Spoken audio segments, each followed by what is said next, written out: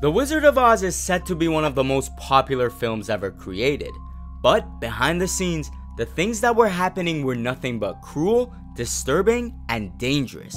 Filled with horrific acts towards a then 16 year old Judy Garland, unsafe work conditions, all the way down to death.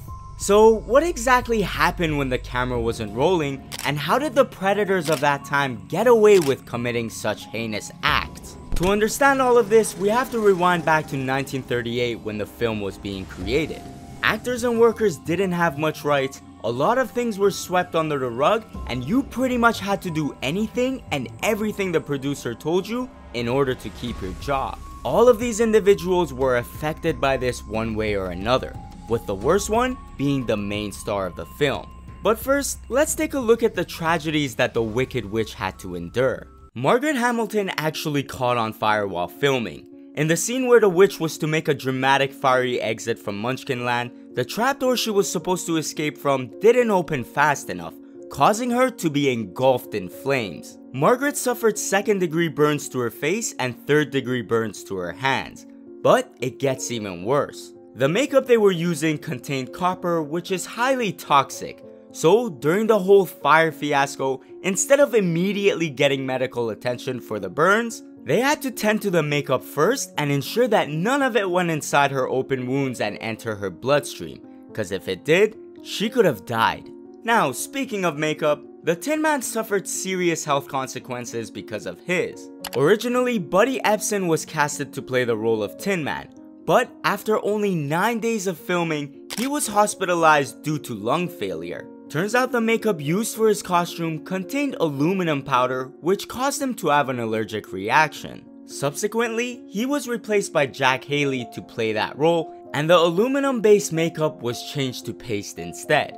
But that didn't seem to matter cause Jack suffered an eye infection which forced him to undergo surgery to prevent permanent damage. The Scarecrow didn't have an easy time either. Ray Bolger, the actor who was casted for that role, was forced to wear a heavy tight rubber mask which almost suffocated him on several occasions. Not to mention, he was left with deep lines in his face for over a year, courtesy of the mask's texture. But things didn't end there. The straw-like scarecrow had several close run-ins with fire, and to combat any mishaps, they had to fill his costume up with asbestos. In fact, this wasn't the only time asbestos was used. The witch's broom contained it as well. Also, the snow that covered the poppy field and fell all over Dorothy and her friends was made up of 100% asbestos. Now, let's talk about Judy Garland for a bit. The things done to her behind the scenes were so bad that there's no doubt in anyone's mind this was the catalyst for her young death at the age of 47. Judy was constantly told she was too fat and needed to lose weight. She was given amphetamines and the MGM studio boss even put her on a strict diet of chicken soup, black coffee, and 80 cigarettes a day to curb her appetite. They even loaded her up with adrenaline shots daily to give her that extra pep, and forced sleeping pills on her at night to help her sleep. The treatment got even darker, cause during the scene where Dorothy slaps the lion, Judy couldn't stop herself from giggling on set. I mean, it's only common, Many actors accidentally crack up laughing here and there while filming, but the director of the movie, Victor Fleming, wasn't having any of that. So he took her to the side and gave her a big slap. From there, she was nailing her scenes in one take.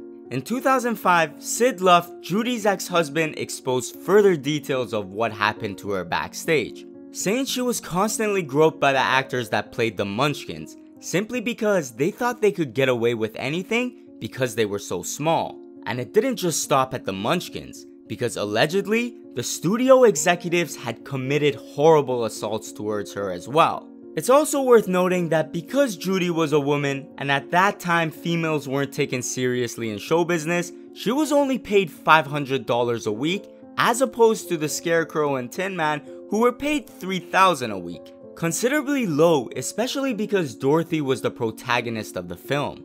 Now, the Munchkins were so bad and hard to work with that MGM was forced to assign someone to watch over them at all times.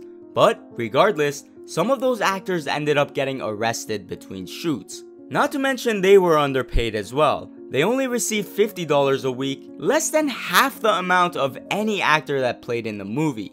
And this includes the dog Toto, who was making $125 a week in comparison. Anyways, the Cowardly Lion was forced to wear a costume that's said to have weighed almost 100 pounds, making it extremely difficult for actor Bert Lahr to maneuver and dance around for his scenes. The costume was also crafted out of real lion skin and fur, and when we factor in the heavy studio lights heating up the set to insane temperatures, Bert's costume would always be drenched in sweat, giving off a horrendous smell. Now that's not even the end of it. In the scene where the flying monkeys appear and soup up Dorothy and Toto, several of the actors' piano wires used for the stunts snapped, causing those individuals to come crashing down to the ground and get seriously injured. It's safe to say that if any of these horrific incidents occurred in today's day and age, the victims would rightfully sue and seek compensation. But none of those actors did such a thing back in those times because if they did, they would be blacklisted from ever getting any more roles in the future.